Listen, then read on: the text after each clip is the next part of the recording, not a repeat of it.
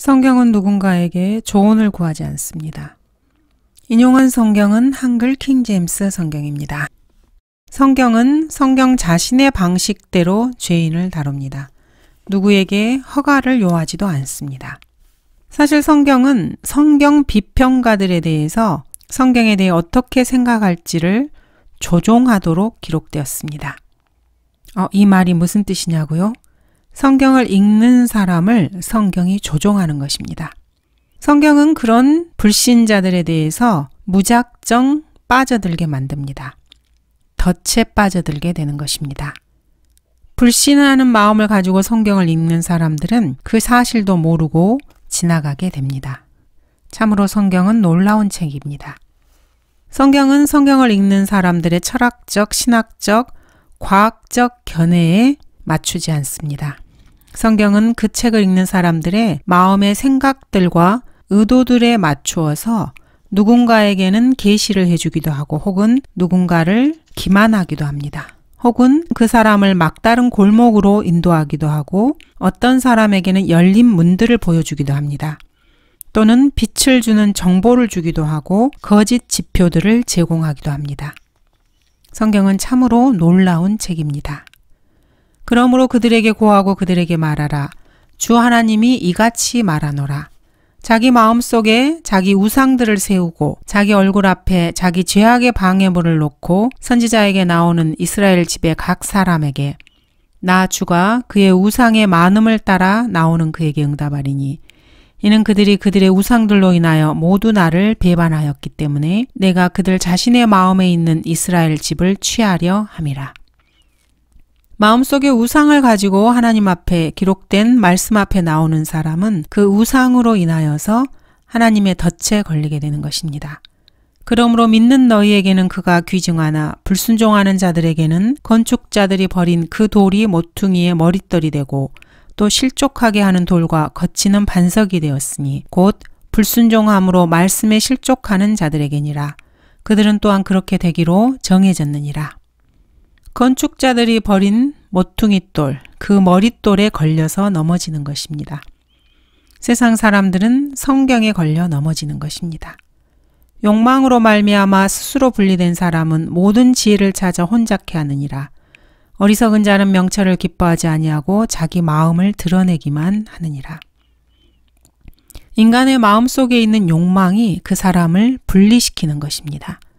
자기 자신은 지혜를 찾아서 진리를 사랑하는 사람이라고 스스로를 속일 수 있지만은 마음의 태도가 잘못된 사람은 하나님께서 진리를 준다 할지라도 그 진리를 가지고 온갖 혼란을 만들어내는 것입니다. 어리석은 자들은 이렇게 명철을 기뻐하지 않고 더러운 자신의 마음을 드러내는 것을 좋아합니다. 온 세상에 있는 그 어떠한 책도 그 책을 읽는 독자들을 이런 식으로 대하는 책은 없습니다. 성경은 독자들이 이 말씀에서 음식을 취하는 동안에 읽는 사람을 삼켜버리는 책입니다. 인간은 하나님의 기록된 모든 말씀으로 사는 영적 존재입니다. 주 하나님이 말하노니 보라 그 날들이 오리라 내가 그 땅에 기근을 보내리니 빵의 기근도 아니요 물로 인한 갈증도 아니라 오직 주의 말씀들을 듣지 못하는 기근이니라. 오늘날의 전 세계의 영적 상태를 규명하는 말씀입니다. 1885년에 영국에서는 Revised Version을 또 1901년에는 미국에서 American Standard Version을 펴냈습니다. 그로 인해서 영적 기근이 전 세계에 미치게 된 것입니다. 그리고 1978년에는 NIV를 출간했습니다. 이로 인해 영적 기근이 절정에 이르렀습니다. 이것은 기록된 주의 말씀들입니다. 기록된 주의 말씀이 이러한 부패한 성서들로 인해서 사라져버린 것입니다. 그러므로 내가 선지자들로 그들을 배웠고 내 입의 말로 그들을 죽였나니 내 심판들은 발산하는 빛 같도다. 하나님의 입의 말로 사람들을 죽이셨다고 기록하고 있습니다. 성경을 읽는 그 사람이 성경을 찍고 내던지고 불태워 버릴 수 있습니다. 쓰레기통에 던져버릴 수도 있습니다. 그러나 성경은 그 사람을 여전히 태워버릴 수 있습니다. 주가 말하노라 내 말이 불같지 아니하냐 바위를 부수어 조각내는 큰 망치 같지 아니하냐 주님의 말씀은 불과 같고 큰 망치와 같습니다. 나중에 성경은 그 사람의 혼을 불태워버릴 것입니다. 인자가 그의 천사들을 앞서 보낼 것이라. 그러면 그들이 실족해 하는 모든 것들과 불법을 행하는 자들을 그의 왕국에서 가려내어 모으리라. 그리하여 그들을 불타는 큰 용광로 속으로 던지리니 거기서 울며 이를 갈고 있으리라. 성경은 성경을 믿지 않는 사람들을 이렇게 큰 용광로 속에서 불태워버립니다. 스마나 교회 천사에게 편지하라. 처음과 마지막이요 죽었으나 살아계신 분이 이 일들을 말씀하시느니라. 처음과 끝이신 분이 이 말씀을 말씀하십니다. 남쪽의 살림에게 말하기를 주의 말씀을 들으라.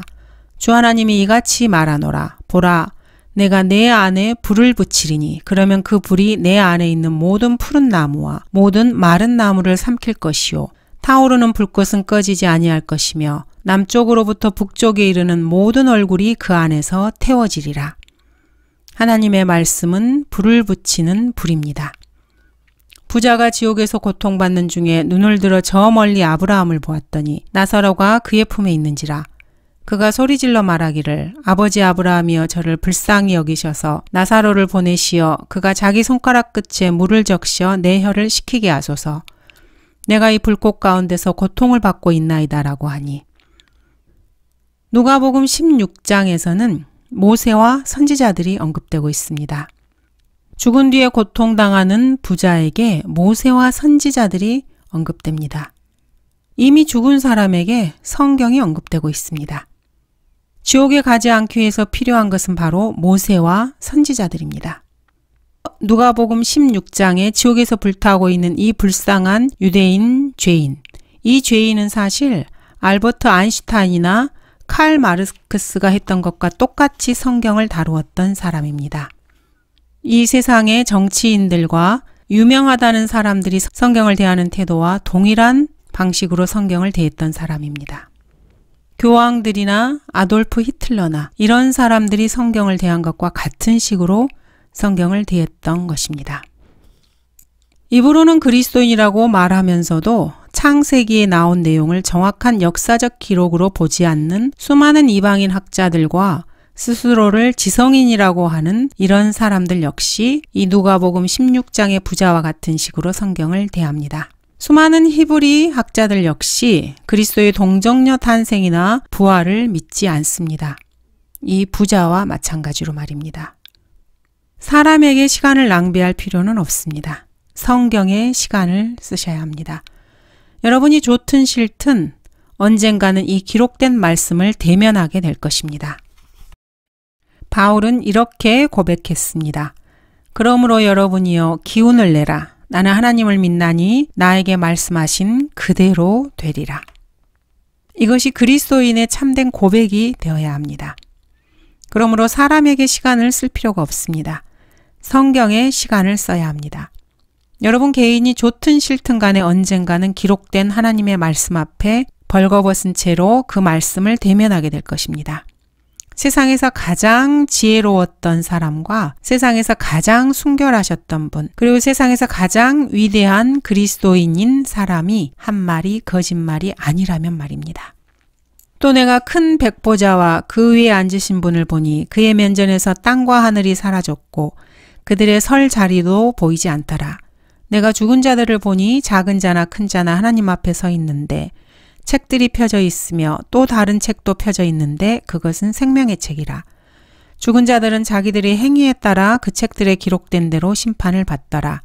바다도 그 안에 있는 죽은 자들을 넘겨주고 또 사망과 지옥도 그들 안에 있던 죽은 자들을 넘겨주니 그들이 각자 자기들의 행위에 따라 심판을 받으며 사망과 지옥도 불못에 던져지니 이것이 둘째 사망이라. 큰 백보자에서 천사들과 함께 인간으로 태어난 모든 사람들은 교회 시대에 구원받은 사람들을 제외하고 모두가 다 기록된 말씀 앞에서 벌거벗은 채로 서게 될 것입니다. 불같은 강이 흘러 그분 앞에서 나오니 수백만 명이 그분을 섬기고 수천만 명이 그분 앞에 섰는데 심판이 준비되었고 그 책들이 펼쳐졌더라. 그리스도인들은 이 백보자 심판에서 그분을 섬기는 수백만 명이 될 것입니다. 수천만 명이 되어서 베시몬석에서 함께 이들을 심판할 것입니다. 이는 하나님께서 선이든 악이든 모든 행위와 모든 은밀한 것들을 심판하실 것임이라. 하나님께서는 모든 은밀한 것들을 드러내시고 인간의 모든 행위를 심판하실 것입니다. 그러나 내가 너희에게 말하노니 사람이 말하는 어떠한 빈말이라도 심판 날에는 그에 관하여 해명하게 되리라. 자신의 입으로 한 사소한 빈말까지도 심판 날에 그 일에 관해서 스스로 하나님께 설명을 해야 합니다. 이런 일은 하나님께서 나의 복음대로 예수 그리스도를 통하여 사람들의 은밀한 것들을 심판하실 그 날에 있으리라. 이런 일이 일어날 그 날이 정해져 있습니다. 요한이나 다니엘, 솔로몬, 예수 그리스도, 바울이 모두가 다 거짓말쟁이였다고 생각하는 사람들이 있습니다. 인본주의자, 무신론자, 불교도, 이슬람교도, 힌두교도, 유대교도라면은 위의 성경 구절들을 모두 거짓말쟁이들이 내뱉은 허풍이라고 생각할 수도 있습니다. 예수 그리스도께서 자신을 심판하실 거라고 믿는 유대인은 세상에 아무도 없습니다. 그러나 위의 성경이 진실이라면 세상에서 가장 큰 거짓말쟁이들은 사실 찰스 다윈, 마호메트, 부처, 아인슈타인, 그리고 아브라함 링컨, 정치인들, 교육가들이 될 것입니다. 여러분은 이것을 사실 곰곰이 생각해 봐야만 합니다. 성경은 예수 그리스도를 통하여 모든 비밀들이 심판받게 되리라고 말씀하고 있습니다. 이런 일은 하나님께서 나의 복음대로 예수 그리스도를 통하여 사람들의 은밀한 것들을 심판하실 그 날에 있으리라. 이는 하나님께서 선정하신 그 사람을 통하여 의로 세상을 심판하실 한 날을 정해 놓으시고 그를 죽은 자들로부터 살리시어 모든 사람에게 확증해 주셨음이라고 하니라. 하나님께서는 의로 세상을 심판하실 한 날을 이미 정해 놓으셨습니다. 하나님께서 선정하신 주 예수 그리스도를 통하여 말입니다. 그리스도인들이 사실 아무 생각 없이 이런 신약의 성경 구절들을 읽습니다.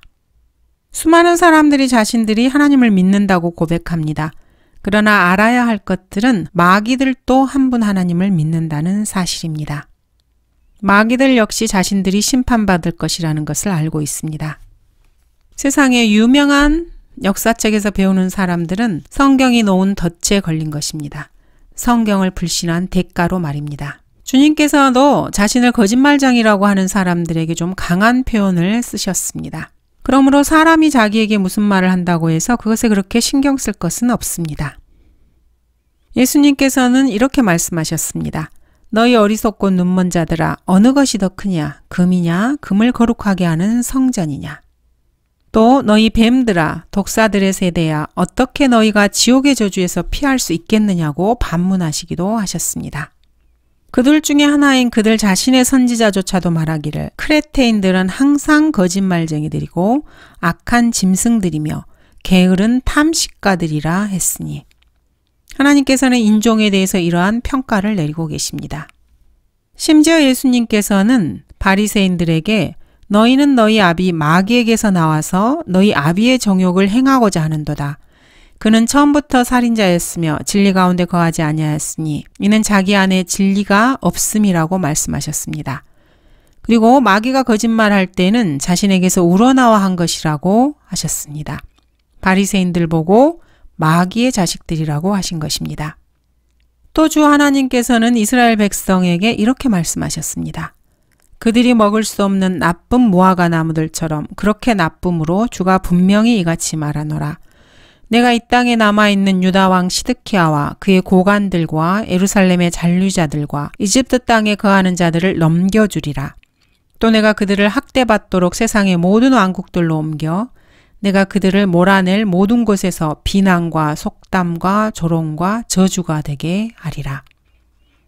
내가 또 칼과 기근과 전염병을 그들 가운데 보내어 내가 그들과 그들의 조상들에게 주었던 땅에서 진멸되게 하리라. 주님께서는 사람의 체면을 생각하지 않으시고 이렇게 가차없이 가슴 아픈 말씀들을 쏟아내십니다. 그러나 우리 인간은 사람의 말에 신경을 많이 씁니다. 사실은 사람의 말에 신경을 쓸 것이 아니고 이러한 하나님의 말씀에 주의를 기울여야 합니다. 하나님은 심판자이시고 창조주이시고 언젠가 우리의 모든 빈말까지도 다 심판하실 분이기 때문입니다. 인간이 상대해야 할 것은 사실 인간이 아니라 오직 성경뿐입니다. 그 사람이 좋든 싫든 언젠가 이 성경을 대하게 될 것입니다. 성경은 지금 그것이 책상 위에 꼭 덮인 채로 있든지 아니면은 책꽂이에 꽂혀 있든지 한 번도 읽혀지지 않았든지 상관없습니다. 이 성경이 바로 여러분을 상대할 것이기 때문입니다. 이 복음으로 인하여 내가 악을 행하는 자처럼 매어서까지 고난을 받고 있으나 하나님의 말씀은 매이지 아니하느니라. 하나님의 말씀은 성경책 속에 매이지 않습니다. 나를 거절하고 내 말들을 받아들이지 아니하는 자는 그를 심판할 리가 있으니 곧 내가 말한 그 말이 그를 마지막 날에 심판하리라. 성경에 기록된 그 말, 그 말씀이 사람을 심판할 것입니다. 하나님의 말씀은 살아있고 활력이 있어 양날이 있는 어떤 칼보다도 예리하여 홍과 영 그리고 관절과 골수를 찔러 가르고 마음의 생각들과 의도들을 판별하느니라. 그 어떤 피조물도 그분 앞에 나타나지 않는 것이 하나도 없나니 오직 만물이 우리가 회개해야 하는 그분의 눈앞에 벌거벗은 채로 명백히 드러나게 되리라. 인간들은 모두 하나님의 기록된 말씀 앞에 벌거벗은 채로 드러나게 될 것입니다. 성경에서 가장 많은 분량을 차지한 한 민족이 민족들 가운데 있는 것으로 여겨지지 아니할 것이라고 말씀을 하고 있습니다. 이 민족이 바로 성경을 기록한 유대인입니다. 너희는 너희가 알지 못하는 것을 경배하고 우리는 우리가 경배하는 것을 아노니 이는 구원이 유대인에게서 나오기 때문이라. 그렇습니다. 구원은 사실 유대인에게서 나오는 것입니다. 그렇다면 유대인의 나은 점이 무엇이며 할례의 유익이 무엇이냐? 모든 면에서 많으니 무엇보다도 그들에게 하나님의 말씀들이 맡겨졌음이니라. 어떤 자들이 믿지 아니하였다면 어찌하겠느냐? 그들의 믿지 아니함이 하나님의 신실하심을 무효화시키겠느냐? 인간이 어떠한 변명을 들이대든 성경의 기록을 문자 그대로 믿어야 합니다. 너희는 너희가 알지 못하는 것을 경배하고 우리는 우리가 경배하는 것을 아노니 이는 구원이 유대인에게서 나오기 때문입니다. 인간을 추종하는 그 어떤 집단을 불러와도 마찬가지입니다. 사실 이들이 문성명 추종자들이나 KK단이나 요셉 스미스 추종자들이나 블랙 무슬림 추종자들을 만든 이유는 이러한 성경을 회피하고 싶어서입니다. 이들에게 성경 구절은 끔찍한 구절입니다. 그래서 이들은 말씀들을 말씀하신 분께서 유대인들에 대해 어떻게 생각하는지와 관계없이 유대인들에 대한 자신의 생각을 맞추기 위해서 성경을 바꿔버리는 것입니다. 이 말씀은 사실 유다 지파에서 나신 한 유대인께서 하신 말씀입니다.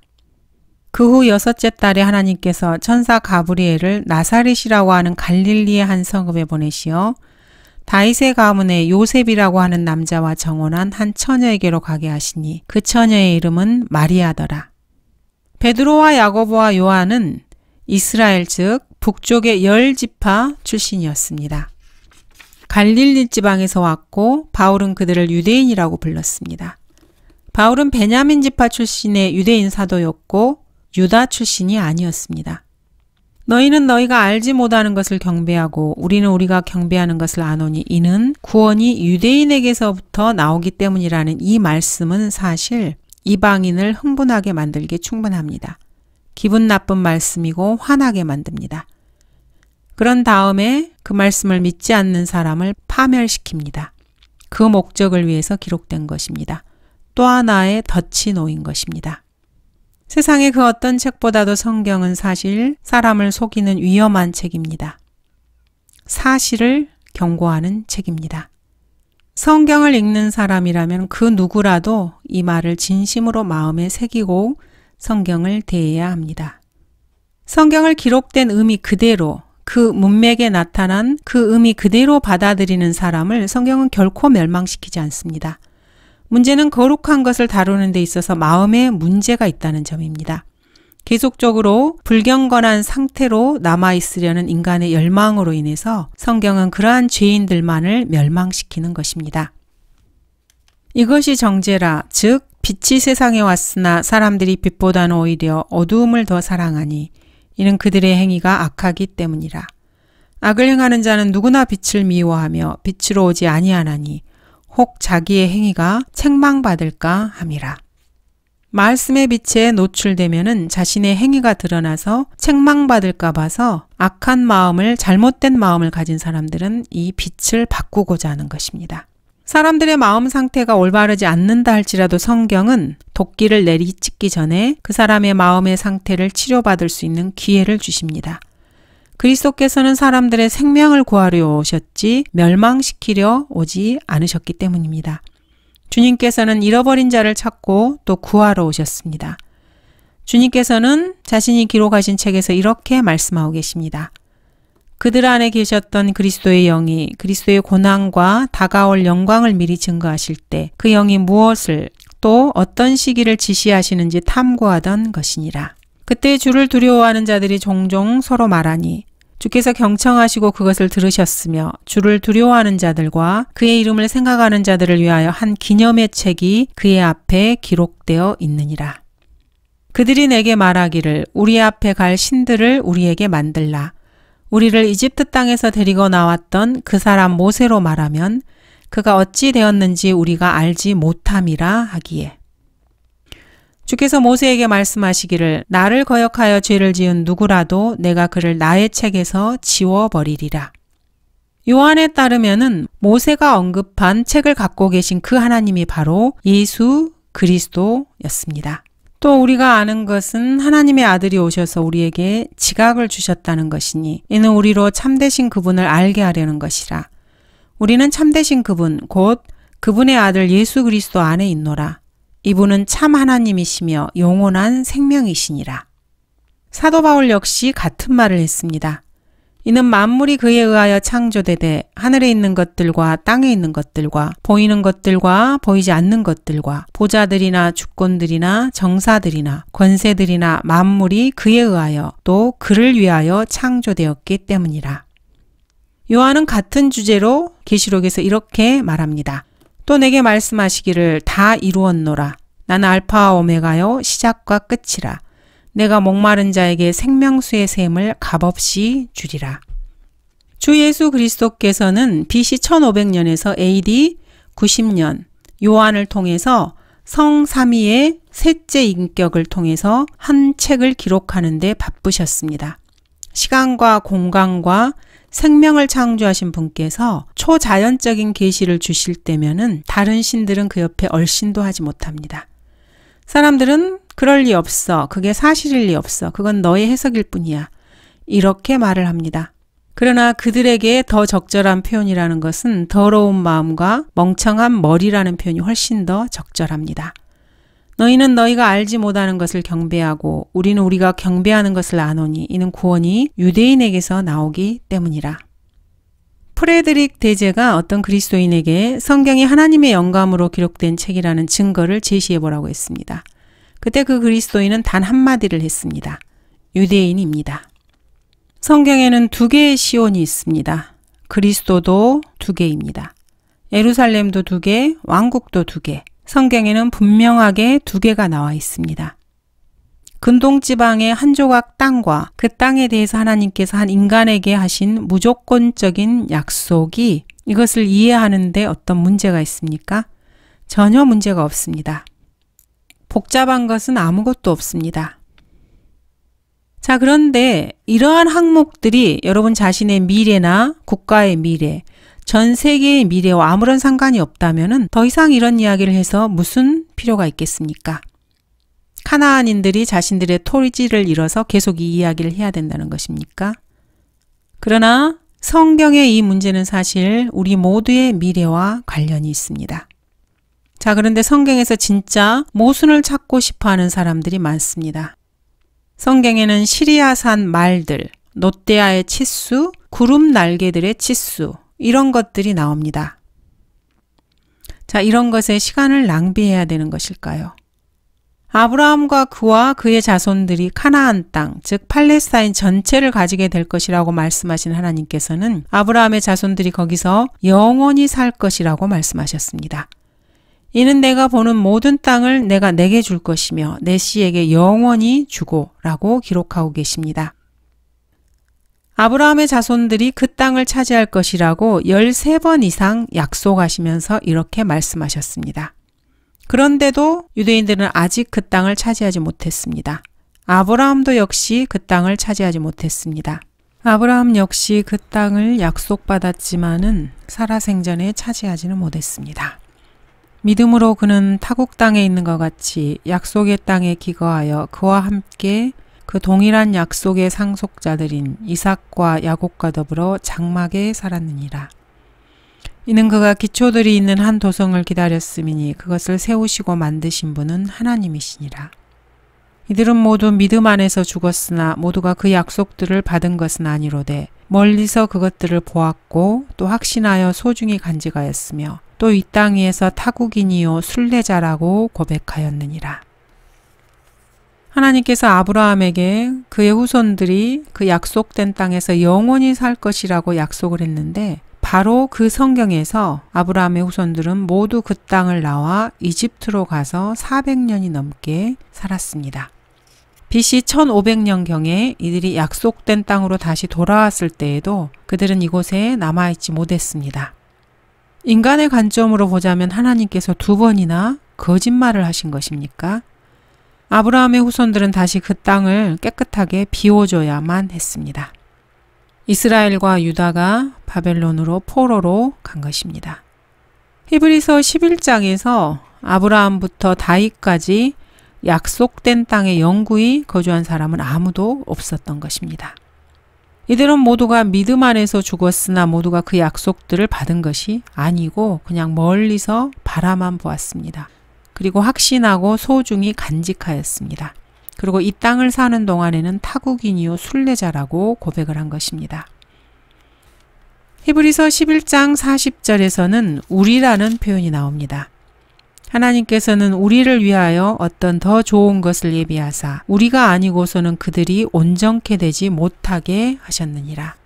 이때까지도 아직 그 땅을 영구히 받지 못했던 것입니다. 이 땅을 이미 벌써 두 번이나 잃어버린 후에 그리고 AD 70년에 또 한 번 이 땅을 빼앗기게 됩니다. 자 그렇다면은 수없이 이 땅을 이렇게 빼앗긴 이스라엘에게 하나님께서 아브라함에게 하신 이 약속이 영원한 언약이라고 할 수 있겠습니까? 그런데 성경은 그렇게 부르고 있습니다. 또 같은 것을 야곱에게 율법으로 이스라엘에게 영원한 언약으로 확증하셨으니 말씀하시기를 내가 내게 카나안 땅 곧 너희 유업의 몫을 주리라 하셨도다. 그때 그들은 그 수에 있어서 몇 사람뿐이었으니 정령 아주 적은 수요 그 땅에서 타국인들이었으며 그때 그들이 이 민족에서 저 민족에게로 한 왕국에서 다른 백성에게로 유리하였도다. 인간의 관점으로 보았을 때는 거짓말처럼 보이는 이 약속을 하나님께서는 영원한 언약이라고 부르시고 재림 때에 이루어 주실 것입니다.